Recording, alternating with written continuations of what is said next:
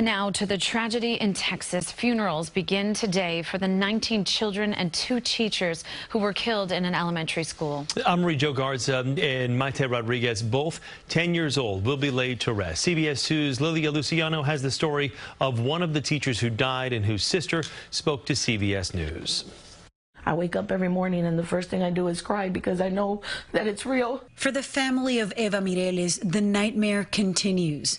Her sister Maggie now facing the most overwhelming of tasks, picking out the last dress she'll ever wear. That was the hardest thing that I've ever had to do in my life. Family members briefed by police say Eva and her co-teacher Irma Garcia both died shielding their children from a gunman who stormed into the classroom and opened fire, killing 19 of their students. I'm sure they didn't even think about what they were doing twice. They just did it. The dog lover, mother, and wife to a police officer was finishing her 17th year of teaching. She loved doing CrossFit, hiking, and bonding with her loved ones in nature. As the shooting unfolded, a family member texted Eva in a group chat asking if she was okay.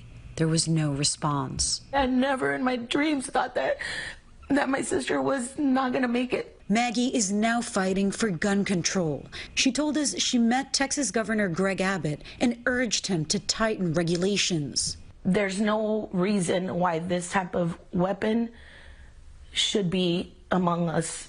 Governor Abbott said that he would be working on laws to change these things, and I expect to see that. But in the meantime, Eva's family is trying to figure out how to navigate life without her. I want everybody to remember her and remember that she was a hero.